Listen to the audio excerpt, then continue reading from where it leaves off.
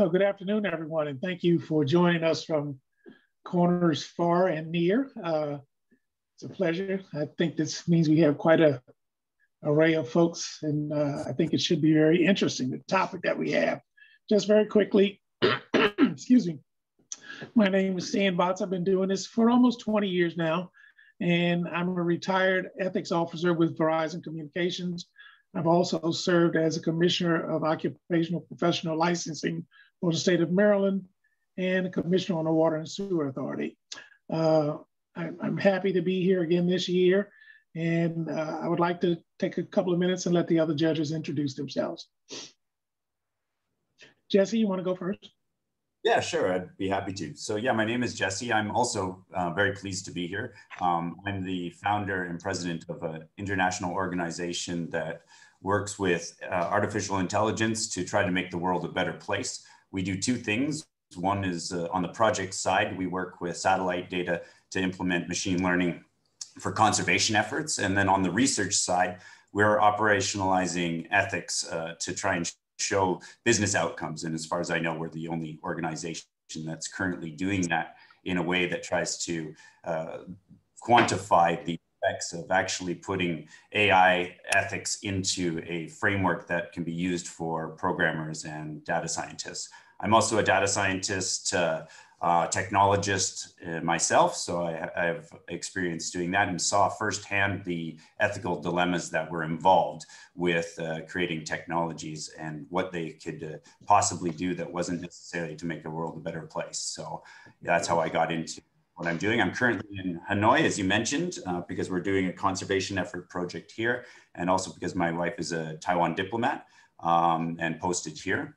I've been in Asia since 2005, and our organization is in Singapore, Japan, Thailand, uh, Taiwan, and Vietnam. So happy to be here, happy to offer uh, my advice, and uh, especially from the business side. And I've certainly had my fair share of ethical dilemmas and been behind the corporate veil a few times. Uh, before I got into AI, I was a uh, business consultant and we we worked with mostly multinationals and i got to see just how difficult it is to actually implement uh, solutions that can get the buy-in that is required so i'm really looking forward to hearing how you tackle this very important topic today and uh, looking forward to giving you my feedback thank you thank you jesse uh, is john with us yes okay john you want to go next Sure. Uh, my name is John Truslow. I'm the Director of Ethics and Business Conduct for BAE Systems. Um, I'm here in Amherst, New Hampshire, right on the Massachusetts New Hampshire line. Um, BAE Systems is, um, is a British company. It is the largest British defense company, and it is the fourth largest defense company in the world. So there are British operations and there are US operations and global operations. Uh, I'm the director of ethics and business conduct for the electronic systems part of the business. So we manufacture um, high integrity uh, electronic components that go into lots of other things, everything from flight control systems uh, to hybrid electric buses um, to weapon systems. So um, that's me. It's really nice to be with you guys. Okay. And nice our other judge, go ahead. Uh, me? No. okay. Yes. Yes. Uh, I'm I'm Dr. Ahmed uh, um, in Dubai. I am uh, one of the senior digital transformation consultants for the chief commander of Dubai Police, um, and uh, basically. Um, uh, me and my team are in charge of um, the uh, several concepts at Dubai Police. One of them is the uh, compliance and the governance, and of course, um, the transparency and ethics. We're also responsible for the AI ethics in particular, um, in ter- because Dubai Police is very forward thinking when it comes to AI and it's implemented almost uh, everywhere in our uh, core business. So basically, ethics play a, a great role uh, in that, as well as uh, Dubai Police prides itself in being one of the soft policing organizations. So the amalgamation of transparency and ethics and soft policing and governance and compliance all together uh, brings out um, a very nice dish that we deal with at Dubai. So we're pretty unique when it comes to uh, implementing uh, the concept of ethics and transparency. Okay.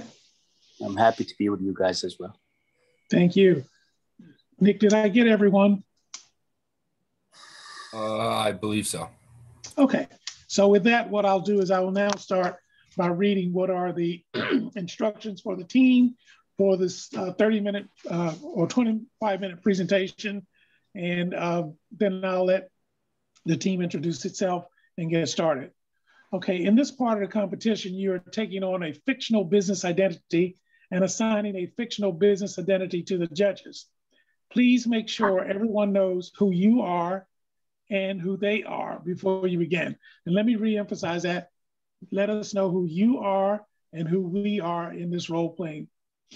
you will have 25 minutes with a five minute cushion to describe the legal, financial, and ethical dimensions of the problem and to recommend a solution that passes muster on all three counts.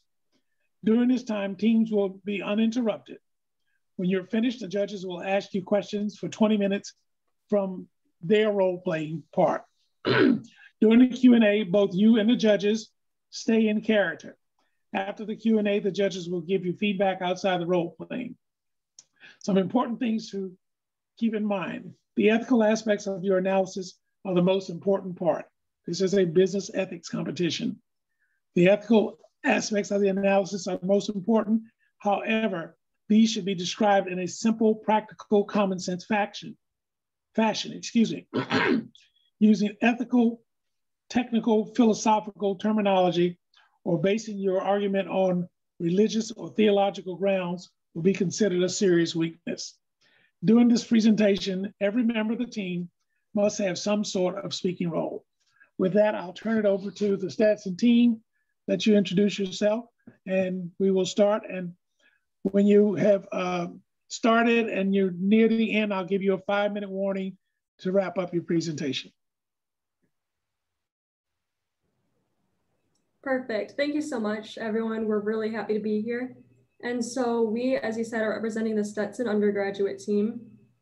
In this role playing, we will be representing Top Hat Consulting, and uh, we will be presenting to Mr. Gene Lee, the head of Darden, and his senior staff members.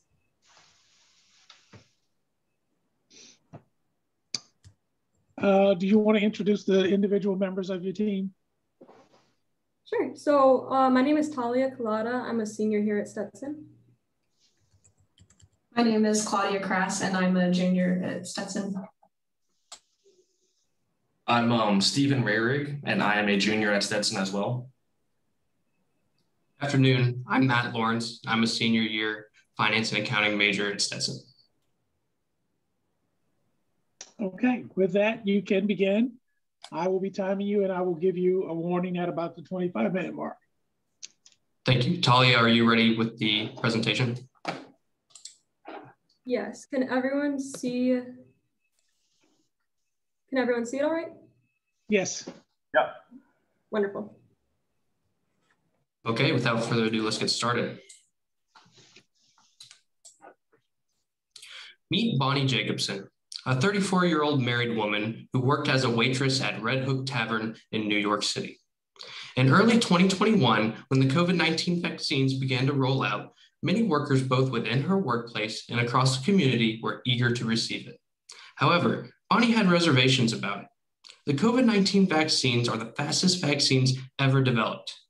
Even as of now, the potential side effects are still unknown. Not only was Bonnie concerned for her own health and safety, but also that of a potential child she hoped to be pregnant with soon. A manager at Red Hook initially told her that the vaccine would not be mandatory for employees, but on February 12th, the business decided otherwise and notified employees that the vaccine was required to work unless personal health or disability got in the way. Bonnie responded to the email asking for more time to do her own research, but only two days later, she was fired from her job. This is an example of the potential conflict Darden could face if the company mandated the COVID 19 vaccine for employees. Good afternoon, Mr. Lee and Darden staff members. I'm Matt Lawrence. I'm Claudia Crass. I'm Talia Collada. I'm Stephen Rarig. and we are Top Hat Consulting. Today, we will be analyzing if Darden Restaurants should implement a coronavirus vaccine mandate for its employees, not mandate the vaccine, or if there is a better solution for this dilemma. Today, during our presentation, we will be walking you through the background on how COVID-19 has impacted American businesses, as well as Darden specifically. We will then investigate the numerous stakeholders impacted by the decisions recommended today before analyzing the financial, legal, and ethical considerations. Finally, we will give you our plan for the coming months ahead. But before we do that, let us review the current state of the vaccination program in the United States. As of September 2020, almost 100,000 businesses have purpose permanently closed down due to the pandemic. Vaccination rates are rapidly increasing every day with the vaccine becoming more widely accessible to the public. In September, 51% of people said that they had intentions to get the vaccine. As of February, the intent to be vaccinated had increased to 69%. Meanwhile, 48% of companies in the US stated that they will not require their employees to be vaccinated. 43% are still unsure, and only 0.5% of companies have already mandated the vaccination for all of their employees. Darden is an industry leader, and whatever you decide to do will set the bar for others in the sector.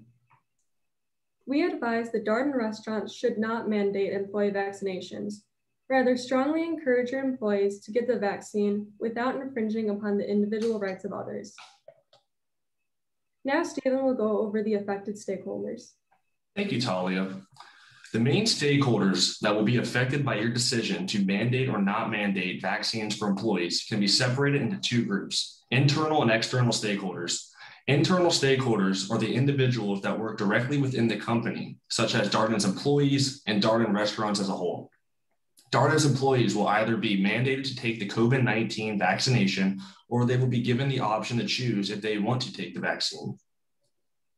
Darden restaurant employees will be required to abide by the company policy regarding the COVID 19 vaccination. Darden restaurants as a whole will be impacted by the vaccination policy decided upon. The marketing strategies, safety practices, financial plan, and overall brand will be impacted. Now, let's talk about external stakeholders. External stakeholders are the individuals that do not work directly for Darden restaurants, but will be impacted by the policy decision. External stakeholders include the shareholders, customers, and other competitors in the industry. Shareholders could be impacted by stock prices fluctuating due to this decision. They could lose money if Darden does not mandate the vaccination of employees. You may lose customers and experience financial losses if employees quit or are terminated for not following a vaccine mandate policy. This could cause a shortage of labor. Darden's customers and the communities you serve will be impacted by the company's vaccine policy. The contagious nature of the virus makes it easily transferred from the employees to the customers. This can then lead to customers contracting the virus, which could further expose the community. Therefore, mandating the vaccine could help prevent community spread. The restaurant industry will also be affected. As Darden Restaurants is the largest sit down restaurant corporation in the world, all decisions that are made will be carefully watched and likely considered by other companies in the industry. Next, my colleague Matt will discuss the financial impacts COVID 19 has had on the restaurant industry and Darden. Before the COVID 19 pandemic, Darden's performance was outstanding. From 2017 to 2019, the company was able to outperform its major competitors, including other large multi-brand casual dining companies such as Cheesecake Factory, Bloomin' Brands, and Brinker International. Darden led these companies in revenue, gross profit, and earnings per share growth. Darden has excelled in strategic management decisions and has used its superior scale in the industry to achieve these results. As we all know, that forward momentum would unfortunately come to a halt in 2020 due to the COVID 19 pandemic. From the start of the shutdowns in March until July, 26,000 restaurants closed in the US, 16,000 of which can be definitively connected with the pandemic. By January, that total grew to 110,000, with 75% of operators or owners stating that they had no plans to reopen. This figure accounted for 17% of the total restaurants in the US. 16% of the total closures were restaurants that had at least 30 years of history. Even financially healthy companies such as Starbucks and Dunkin' closed a combined 1,600 locations temporarily or permanently. The industry also saw large players in Ruby Tuesday and Sizzler go bankrupt. The negative effects trickled down to employees as well. 8 million restaurant workers were fired or laid off in 2020 as a result of COVID 19, proving how the restaurant industry was one of the most impacted industries in the market. Darden was no exception to this struggling industry. Revenues dropped 43% for the fiscal quarter ending 5/31/2020 year over year. The company quickly adjusted, limiting costs as much as possible during lockdowns and restrictive times, but still saw net income decline to negative $155 million. Free cash flows dropped from a healthy 358 million to negative $294 million from March until the end of May. Many locations had to completely close dining areas. Darden was forced to wait until mid-May before it had over half of its dining areas partially open. As for employees, roughly 150,000 or 81% of all employees were fired or laid off during the pandemic. As you know, Darden was forced to make important, quick decisions in response to what was happening in the marketplace. You were forced to furlough many workers to cut expenses. All dining rooms were shut down as a result of mandates by the government. On April 20th of 2020, Darden announced a public offering of 7.8 million shares at a price of $58.50 in order to raise capital for the company. And as was a custom in the corporate world during the pandemic, executive employee salaries were cut in order to save funds as well. Since May of 2020, Darden has slowly and steadily recovered financially. Revenues have consistently been increasing since the early summer. Currently, over 99% of your dining areas are operating at full or partial capacity, a huge positive since over half were still shut down as of last May. Perhaps the most impressive indicator of the health of your recovery is the number of stores open. During 2020, Darden increased its number of locations despite these hardships from 1,804 locations to 1,818. With improving economic conditions, Darden hopes for business to return to its usual levels soon. According to multiple surveys and studies, 8 out of 10 restaurant customers say they couldn't replicate their favorite restaurant foods at home. 6 out of 10 say restaurants are an essential part of their lifestyle. And 78% agreed that going out to restaurants was one of the things they missed most since the start of COVID 19. Keeping Darden's recent financial history and current financial position in mind, let's analyze the financial consequences of requiring or not requiring employees to take a COVID 19 vaccination. There are a few reasons why having all of Darden's employees vaccinated could lead to greater financial success for 2021. If all employees were vaccinated, the company could boast about that to customers and create a COVID safe environment for those eating at the restaurants. Capacities could be potentially increased, leading the way for more sales and revenues from in-person dining. Unfortunately, there are also many reasons why requiring workers to get vaccinated might not be the best option. In order to create a completely safe environment in dining areas, not only would employees have to be vaccinated, but all present, including customers. Having all employees vaccinated creates little positive effect if some of the customers aren't. Darden would not be able to create a much safer environment if this were the case. If Darden made the vaccine mandatory for employees, many workers might be tempted to quit. Although the list of Americans that do not want to take the vaccine is slowly diminishing, they still account for a considerable part of the population. Recent surveys show that 15% of Americans will definitely not take the vaccine. When accounting for the ages of these respondents and factoring in typical age statistics in the restaurant industry, it can be estimated that about 15.25% of all Darden's employees will not take the vaccine. This could lead to employee frustration and potentially some leaving the company, which would have negative financial consequences. Darden taking a middle ground approach could be the best solution. Daily COVID 19 rapid antigen tests could be administered, but the cost would be far too much for the company.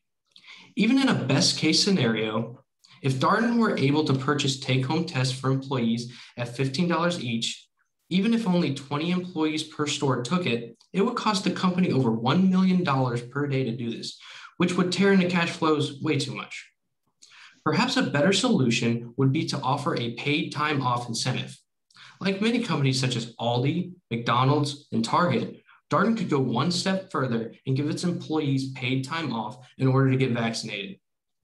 With the average hourly paid employee of Darden's 135,000 earning $17 per hour for the company, added to the $20 per hour pay you could give to 60,000 salary-based workers you have, it would cost the company around $21 million in employee pay to have each of these workers vaccinated if six hours were given to do this. For employees not comfortable with taking the vaccine, we could offer an educational course. This course would cost the company between $144,000 and $360,000. With free cash flow at 253 million during the most recent financial quarter, this is very accomplishable for the company. Although Darden could choose not to give this money to employees, many other companies have set the precedent of doing this because it is, it is an affordable way to stimulate positivity over workforce vaccinations. Another specific solution could be to offer a promotion to customers who are vaccinated, such as a discount. Krispy Kreme announced that starting on March 22nd, 2021, vaccinated individuals can receive a free glazed donut. Other local restaurants and businesses have taken to this trend, but Darden has the opportunity to become one of the first multi billion dollar corporations to have discounts as such. Although doing thorough analysis on this potential vaccine marketing decision would be too speculative to place a dollar amount on, it could still bring positive attention as well as new customers to the business. Now on to Claudia for our legal considerations. Thank you, Matt. Now I would like to discuss some of the legal factors and considerations for this case. A county detention center in New Mexico is facing a lawsuit from an employee regarding a COVID 19 vaccine mandate in the detention center that the detention center has put in place. Isaac Legaretta claims that he was not made aware from the detention center of the potential benefits and risks of being vaccinated and the extent to which some benefits are unknown. Legaretta states that he does not want to be forced by his employer to be a guinea pig while the outcome of the lawsuit is yet to be determined, the detention center has gained national attention and undoubtedly substantial legal expenses. This is why Darden must be extremely cautious and emphasize the need for education on the vaccine and the pandemic. Title VII of the Civil Rights Act of 1964 states that employers must grant accommodations for employees that have religious beliefs that prevent them from getting the COVID 19 vaccine or other vaccines in general. For example, Jehovah's Witnesses are not allowed to get the COVID 19 vaccine because the vaccine is fused with antibodies from survivors of COVID that will then get injected into one's bloodstream. This process does not align with their belief system. Employers that are subject to the Americans with Disabilities Act, also known as the ADA, must provide reasonable exceptions to employees that have disabilities. As with other common vaccinations, over time, certain accommodations must be made for individuals who are at a higher risk of allergic and or potentially deadly reactions to the vaccine. It can be difficult to mandate the COVID 19 vaccine throughout the entire company when some employees will still be exempt from it for, because of disabilities and for religious reasons as well. The Occupational Safety and Health Administration, also known as OSHA, requires all employers to provide a safe and healthy workplace for their employees. Darden restaurants can keep meeting these expectations by upholding your mask policies in all locations, strongly encouraging and advocating for employees to get the COVID 19 vaccines, and, and providing more education on the vaccine and the COVID 19 pandemic itself. The decision in terms of both how and when the vaccines are distributed to the public is left up to the individual states themselves. Different states also have different labor laws in terms of mandating vaccines for employees. The harshness and regulations varies greatly from state to state. Even though Darden Restaurants is headquartered in Florida, it is much more difficult to enforce a mandate of the COVID 19 vaccine nationwide within the company, considering that Darden Restaurants has employees in every state where labor laws differ. It is also important to note that healthcare workers, first responders, the elderly, and those that are immunocompromised or are of high risk for complications from COVID 19 due to other medical conditions are the highest and first priority for vaccine administration not restaurant employees specifically. After reviewing Title VII, the ADA, and OSHA, we have concluded that by not mandating the COVID 19 vaccine, you will be within your legal rights and even potentially avoid litigation. There would be no legal benefit for the company to enforce such a policy. Now, back to Talia for the ethical considerations and factors. Beyond the legal and financial impacts of your decision, you must also consider the ethical implications of a mandate. It has become clear that the path forward in the United States is the availability and accessibility of the COVID 19 vaccine. Darden has recognized the dangers of the virus through its previous implementation of work safety initiatives.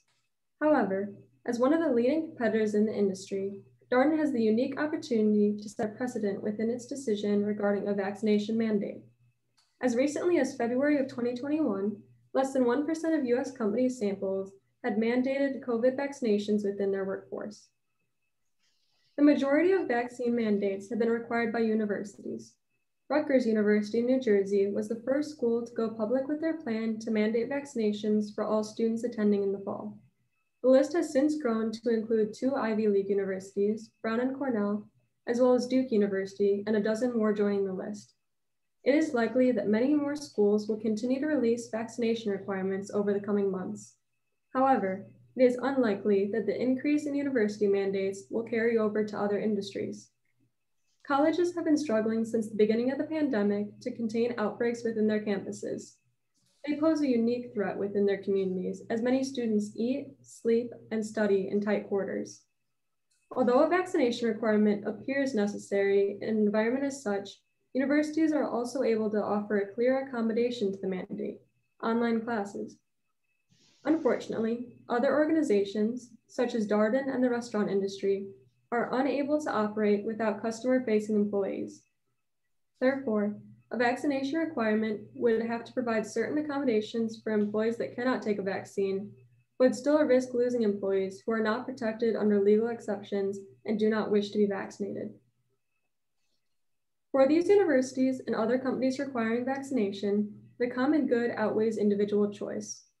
We too must weigh the delicate balance between our responsibility for public safety and the preservation of individual autonomy. As for our purposes today, we have defined human autonomy as the right of the individual to make informed and uncoerced decisions. Within the debate over policy mandating vaccination, Companies have argued that it is in the best interest of the public to require workers to become vaccinated as soon as reasonably possible. We are not here to argue the merits of a vac vaccinated population. Rather, we would like you to consider the role that individual choice plays in the matter. We have already discussed the legal risks of mandating vaccination for workforces, including protected populations. There must also be an advocate for the rights of the individual. We believe that it is unethical to require vaccination with the impending threat of joblessness. Public safety has clearly been of concern to Darden since the outbreak of the virus. You have implemented the use of hand sanitizer stations and mask policies. However, it has been claimed that the only way to ensure public safety is through a mandating policy for the entire company. We do not support the idea that herd immunity is only achievable through corporate policy. Rather, we believe that encouragement of the vaccine without regulating its administration could yield equal or better rates of vaccination within the corporation. First, we would like to review two of your corporate values, respect and inclusion and diversity.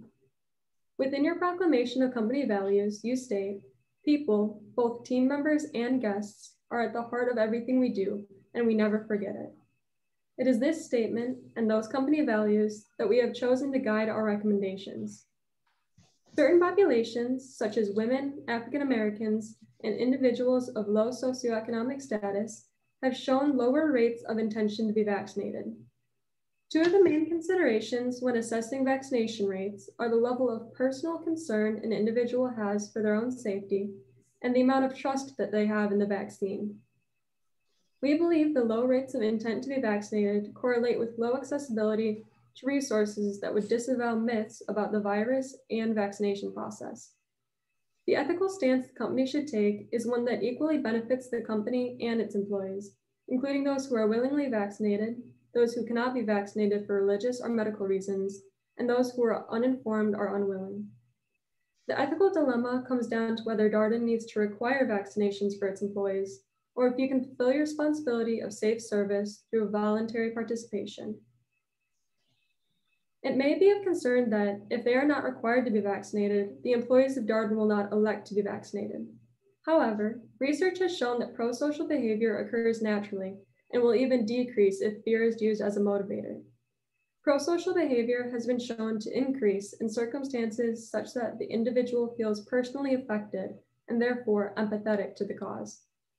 This phenomenon has been observed through social exchange theory, the idea that limiting costs and emphasizing benefits will increase altruistic behavior.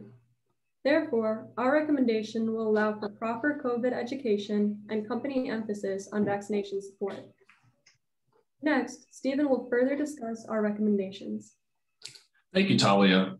We recommend that Darden encourages employees to take the COVID 19 vaccine as it leads to many potential benefits that have been mentioned in the presentation. For those who do not feel comfortable with taking the COVID 19 vaccine, there is an option of taking a COVID 19 educational course. Regardless of which of the two employees choose, they will be compensated for six hours of their regular pay, up to $20 an hour. The six hours of compensation have been calculated with travel and vaccination wait lines in mind. Employees will not have the option to be compensated for both, but will be encouraged to participate in both. In doing so, Darden will be giving equal rewards to individuals who have already elected to be vaccinated and those who are not able due to medical or religious restrictions. The COVID 19 informational resources will be accessible to all employees through their current work platform, Krowd. Krowd is available to employees through a computer or their mobile device and will be updated with a COVID 19 portal, which will include the course, links to CDC updates and guidelines, workplace safety resources, and proof of vaccination submission form. The course itself will be a series of asynchronous video lectures emphasizing the importance of maintaining a healthy workplace, explaining the current initiatives in the in place with Darden restaurants and promoting informed vaccination decisions.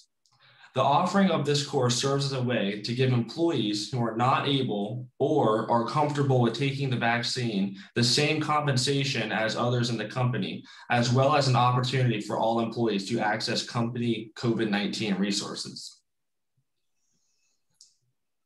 As we saw earlier, we expect that many Darden employees will or have already received their coronavirus vaccination. These employees will have access to the same resources on their Krowd app, as well as a form to submit proof of vaccination. Neither those who complete the course nor those who are vaccinated will be required to self report their vaccination status to their immediate management. Rather, human resources will be human resources will receive reports directly from the Krowd application. We believe that creating an environment of informed, respected individuals will encourage apathetic employees who did not intend on being vaccinated to reconsider their stance. Our recommendations follow the previously mentioned social exchange theory. By increasing acceptance and gratitude, we are increasing the benefits associated with vaccination. Through the incentive of paid time off, we are limiting the financial and time barriers that may constrain employees. We believe that this framework has the potential to encourage even higher vaccination rates within Darden than the general public. We are excited to field your questions regarding our recommendations and thank you for your time. Okay, that was perfect timing. I was about to give the five minute warning and you ended right on time. Okay. Um, I, I, I'll start by saying I think that that was very well done. And uh, as the, uh, excuse me, management here at Darden, I think you made some very, very enlightening uh, recommendations. I would like to just say that I think your recommendations are well received and that we will certainly consider them. And I'd like to hear from some of the other members of the staff.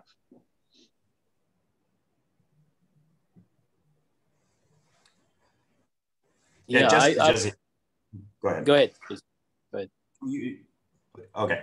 Yeah, Jesse here. I just wanted to say that uh, I second that. This was a excellent uh, presentation. You all did a fantastic job of highlighting the main interest to us here at Darden.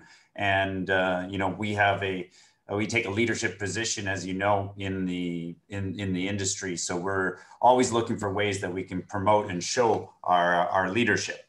So yeah, we really, I really like how you hit on some of the struggles that we're having as a, as an executive team here in order to how we can ethically, you know, still do good for the, our, our employees while also making sure that we um, protect the, the rights and, and freedoms that they have. Uh, you hit right on the head of our, you know, uh, our struggle right now with, with the common good outweighing the individual rights. And so I think that your recommendation is is well received here. However, I, I'm uh, I have a little bit of concerns with the uh, a few of the financials that you presented. I wasn't clear what the financial risk would be on the side of, of mandating versus un, uh, not mandating. Uh, I'm not sure what the financial re repercussions would be um, entirely. If we did that, I'd like to see a little bit more risk analysis. Um, on the ethical side, I think that you did a good job of straddling between the two main concerns that we have at Darden here. And I think that there is certainly a, a, lot of the recommendations that you made that we will take into consideration. One thing I would like to know is under what circumstances would you make a recommendation of mandate? What would have to happen it, um, and what would be the, the, the case where you would recommend a mandate? Is there any uh, situations under which you would uh, not recommend the straddling uh, hybrid approach and recommend a mandate? Thank you. Sure. So um, are we allowed to answer the questions right now? Yes, yes, please do. Perfect. Perfect. So um, the recommendations that we have made with the straddling approach, as we have considered it, are given the um, general public's acceptance of the vaccination. And so we really focused on the standard Americans' intent to be vaccinated and the increase that we have seen over the last several months. And so we would have to revisit the um, mandating policy in the case that the general public's faith or trust in the vaccination dropped, or if their intent to mandate, or if their intent to be vaccinated, pardon me, uh, dropped. And so in that situation, we would revisit. However, as it currently stands with the great percentage of uh, Americans looking to be vaccinated, we hope that we will be able to continue with giving them the choice. Thank you. I was just just a little follow up when you said that the common good outweighs the uh, individual rights in your recommendations from, uh, under the ethics section. I was just curious what uh, what situation would you know be in line with that recommendation in terms from an ethics point of view. Um, we certainly want to take a leadership position, and as the largest you know restaurant chain, uh, sit down restaurant chain, we I, I, think it's important that we do take a leadership position. So uh, I'd be interested in knowing when when uh, you would make that recommendation for us. But that was a good answer. Thank you. Thank you. I have a legal question. Uh, as the Darden family considers the hybrid approach, if we were to go to the um, approach where we mandated it, would we be able to do that legally without the vaccination being a legally approved as opposed to the uh, temporary approval that they've received? Um, as it stands right now, uh, you would be able to, um, given the current circumstances. Um, we are allowed to, um, you would be allowed to mandate the vaccine. Um, furthermore, it's currently under emergency use, and so the FDA has given their thumbs up for uh, mandating policies. However, as we stated, there are those two protected classes, and so we would need to provide accommodations as such.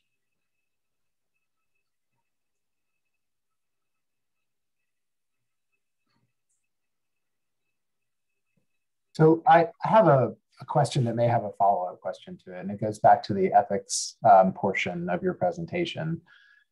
You had you set up the dilemma to be a choice, or at least a consideration that the company, among others, but that the company needs to make between.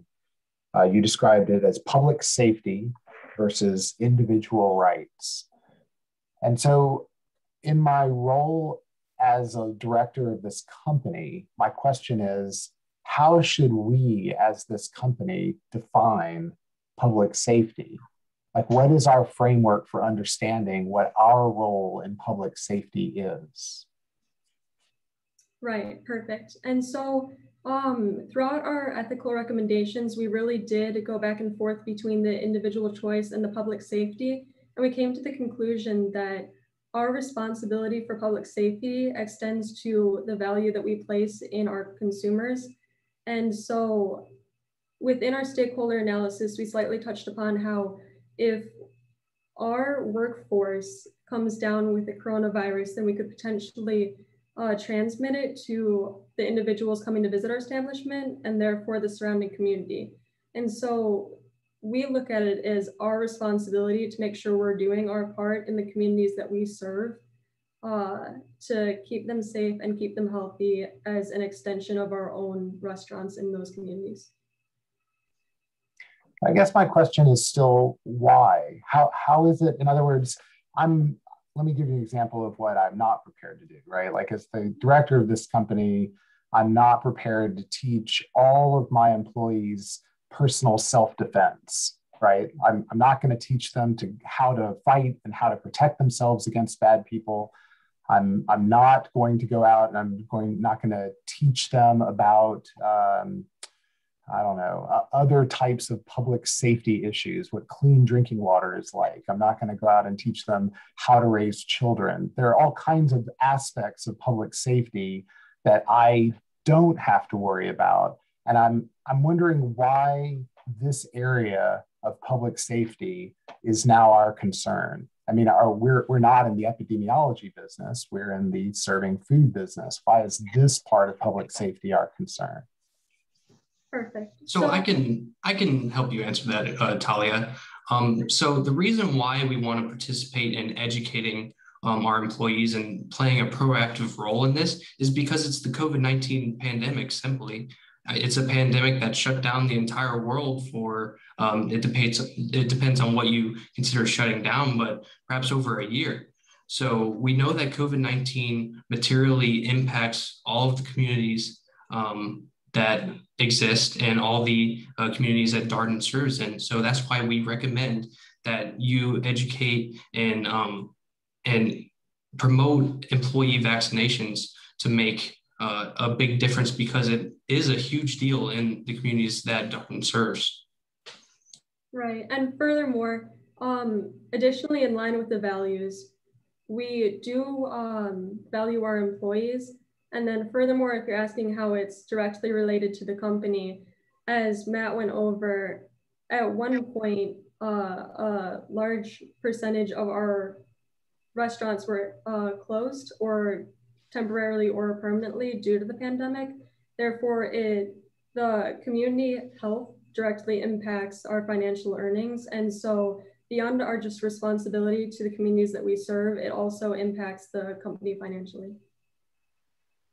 So what I heard from that is that as a director of the company, I should be able to define public safety based on whether or not I can open up more restaurants and put more people through our restaurants. And that those public safety aspects that help fill my restaurants is the limit. That's is that the definition of public safety or those actions that best fill our restaurants?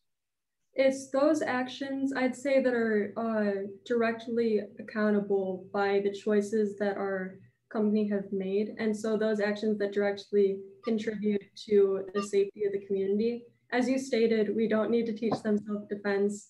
And what our employees do on their own time is up to them, but it is our responsibility that within our companies, we're providing a safe workforce for those who do come uh, to our restaurants. Thank you. In your recommendation, it, it looks like you were, the hybrid included two things, either vaccination or education. What about our requirement as a company to do things like masking, temperature taking, and just testing for those who may be infected. I, I think those are some other sides, and, and, and I don't specifically don't recall you talking about temperature taking or uh, testing. So all of those are super important things that the company is already doing. Uh, hand sanitizing stations are placed throughout the restaurant, as well as restrooms are available to um, partake in frequent hand washing. Um, masking is required uh, within the restaurants until customers are seated at their tables, uh, and then they're allowed to take the mask off to eat, and then they must uh, wear the mask again to um, leave the restaurant. So a lot of what you're already saying is already being uh, implemented in our restaurants and are very important uh, to uh, slowing the spread of COVID-19. but the recommendation that we made are ideas that are less commonly stated and uh, are very important in uh, helping Darden become good stewards in the community. If you don't mind, I have a, a small input here. Uh, first of all, great, great performance uh, from all of you. Um, my question is uh, uh, part ethical, part legal. in restaurants that are, let's say, uh, the the segmented restaurants that are the largest uh, in our uh, in our uh, portfolio. Uh, are we are we ethical and legal if we say uh, promote some kind of pilot project where we would entice the restaurants of I mean the employees of these restaurants in some of the largest areas or maybe the, the areas that are hardest hit um, and then entice them with some kind of uh, motivational schemes to get um, uh, vaccinated and then use that uh, as a reference site uh, of what will happen if the whole restaurant is vaccinated and, and uh, how the community responds to that. Would that be ethical or legal or can we do something like that? Um, so as Claudia touched upon, we are currently within our legal right to mandate vaccinations within our restaurants, although there is that one lawsuit and we have not uh, been able to see the verdict. And so that will kind of pave the path forward on mandation or mandating policies. And so we are within our legal grounds to do as such. And that is something we can definitely take into consideration. I think that you're correct in saying that we would prefer to stay on the incentivizing path rather than mandating because we are highlighting the respect and uh, the inclusion in the corporate values. However, it's definitely something that we can look into if you wish, and we could sample a few uh, restaurants in more high risk areas. And to add to what Talia was saying, um, compensating employees is a part of our recommendation. We, play, we plan to pay employees a total of six hours of their normally paid um, wages up to $20 an hour. An important consideration to remember is that we think that you um, should be careful in considering whether some employees should uh, receive different compensation than others. Uh, that would be potentially unfair and discriminatory. Uh, this was included when we talked a little bit about uh, compensating people who did not want to take the vaccine and rather take the educational course. We would uh, compensate them uh, the same amount as if they took the vaccine because we don't want to discriminate against those who are uncomfortable for uh, one of many reasons. So it would be illegal for us to uh, uh, give a pay raise to those who uh, take the vaccine? A permanent pay raise? Was that? Um, yes, I, I, I, say, I mean, I, you know, let's explore both sides of the equation, uh, permanent or uh, um, temporary. Sure. I think that um, in the case of a permanent pay raise, that would violate, I believe, both Title VII and the Americans with Disabilities Act, because that would be giving an unfair advantage to those who are able-bodied and able to receive the vaccination. And so a permanent uh, a permanent raise is probably not an avenue we'd explore just for the legal aspect. However, in certain areas, we are giving the extra paid time off. And so if we find that the implementation of the six hours of pay is not adequate to raise the vaccination levels, we can definitely investigate other avenues of incentives, such as more paid time off or a flat rate of uh, monetary incentive. So that is within our legal rights, but I do not believe that uh, we would legally be able to give a permanent raise. Great, thank you. I'm sorry, part of our corporate culture is that we uh, want to tie to our values diversity and inclusion. Do you foresee any need to offer something in the way of uh, inclusion um, in an educational way around those uh, groups that may have some policy or uh, something that that is against taking the vaccination. We you're talking about offering education of why it's important. Do you foresee that we could be exposing ourselves by not uh, offering something along the realm of those individuals who feel, whether it be religiously, ethically or whatever, uh, that it's not appropriate to take the vaccination. Yes, absolutely. I think that would be a, um, a great recommendation. I think that's definitely an important aspect that um, needs further education as well. I think that's definitely something that could be included too. Thank you for your input. Thanks. And just to add on to that, I think that within our course, as we stated, human autonomy is informed and uncoerced decisions. And so our course offering in the education on COVID is not intended to guilt individuals who do not prefer to take the vaccination, rather give them the information and resources if they would like to uh, take the vaccination, as well as just general um, workplace safety initiatives that we have in place. And so we additionally touch upon that inclusion and diversity value within our decision to have our vaccination submission form go straight to HR. And so they can handle the uh, monetary value because we don't think it's appropriate for everyone in the workplace to be aware of who is getting what because it is a personal decision and we're leaving it up to the individual. And so we're handling this on a higher level in HR in order to maintain that uh, discretion.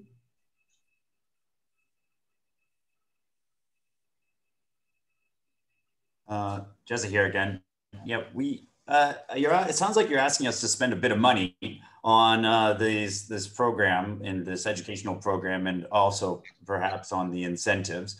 And uh, you know, of course, we want to do good um, as much as we can, and we're willing to make an investment, but we still have shareholders to be responsible to and you know we we have to justify this to them uh, as well. And we're always kind of in a little bit of tension with them regarding you know doing initiatives uh, of this nature. So my i'm just wondering if you have any sort of framework or advice that you could give us when us as leaders kind of our fiduciary duty kind of conflicts with our moral or ethical decisions?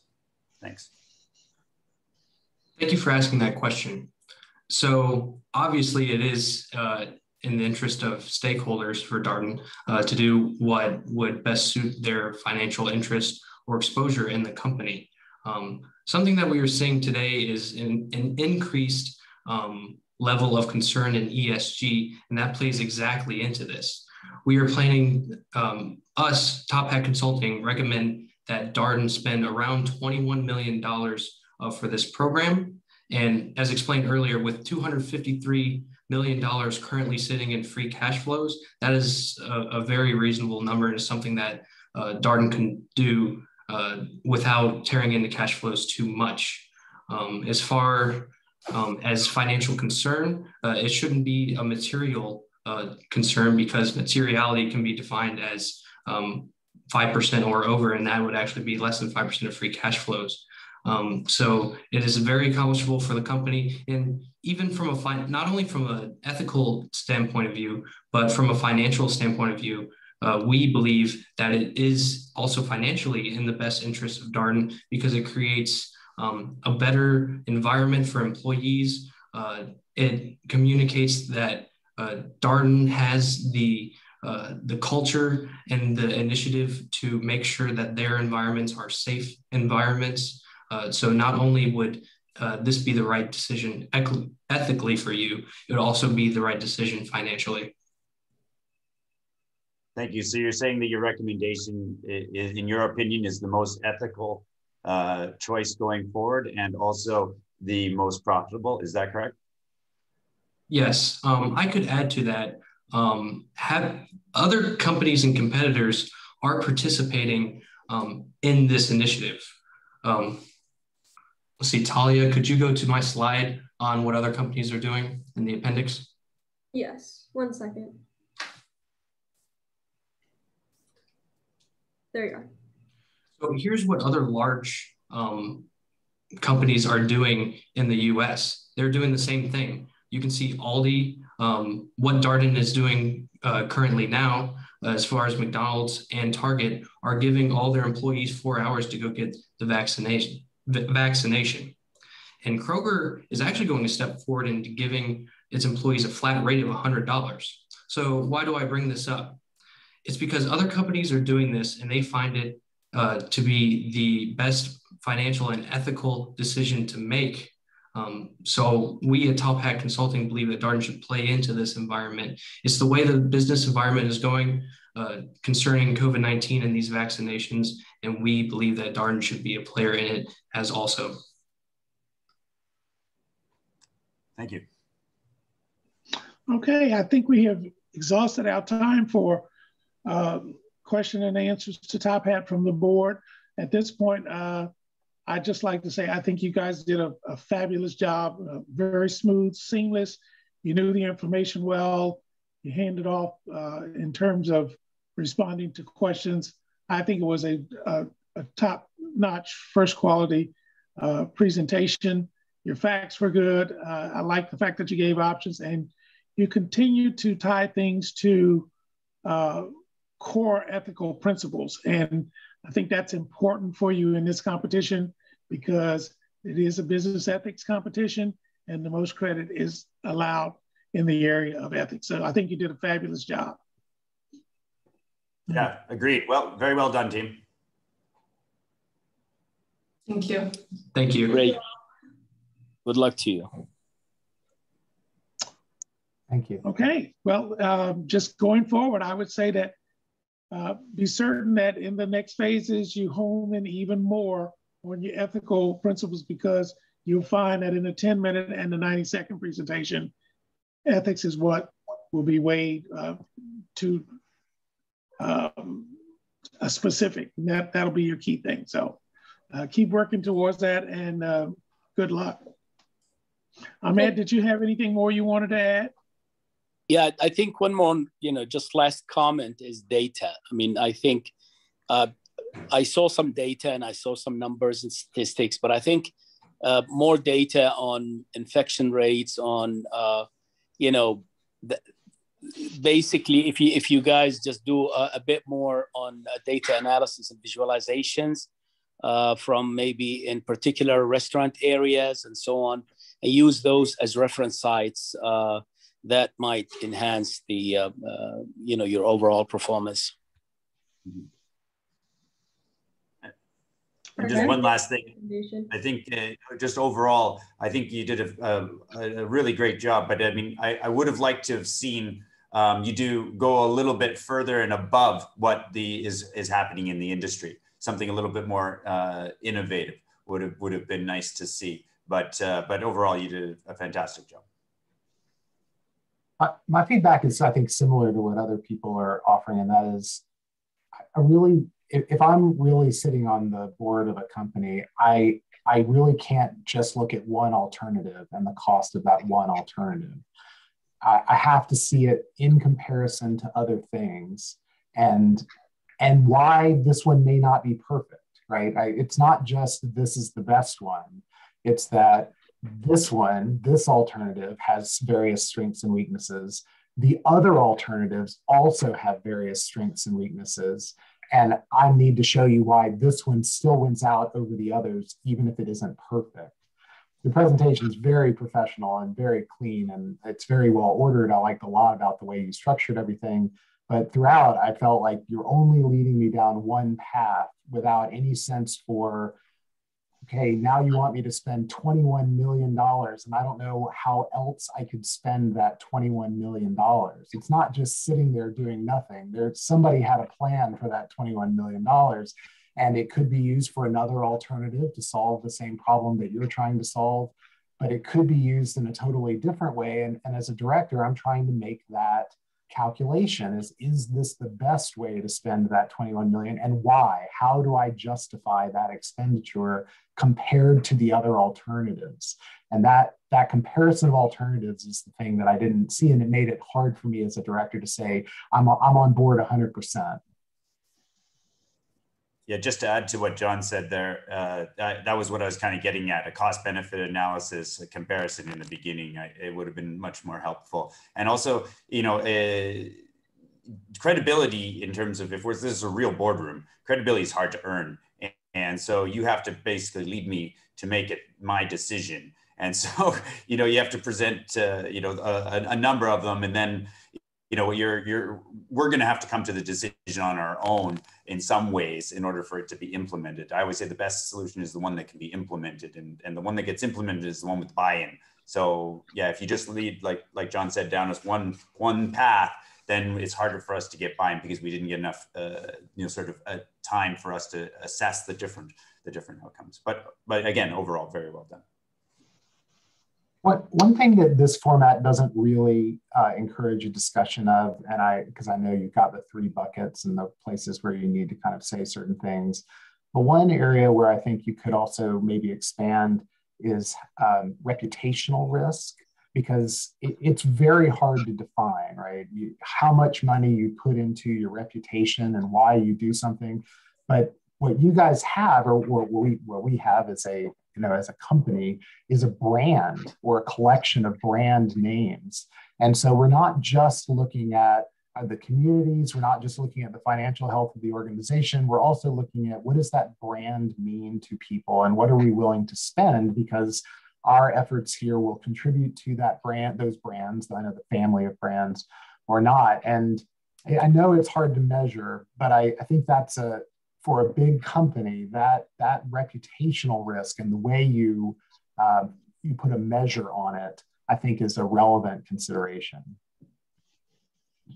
Yeah, just just to add to that as well, and you know, I, it was really focused a lot on risk mitigation, which makes perfect sense. But it, I would have been nice if there was an opportunity as well, further to my other comment, which was like, is there a competitive advantage? So maybe maybe it's a chance for us to really take a leadership role.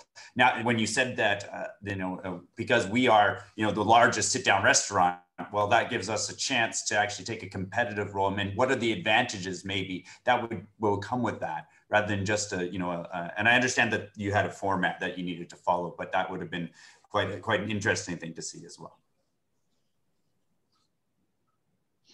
Okay, well, I thank everyone for their participation. Uh, I wish you guys luck going forward in the next two presentations and uh, fellow board members and judges, I thank you for your input. I always learn something from you as well. So thank you and um, good luck. Everybody stay safe. Good luck.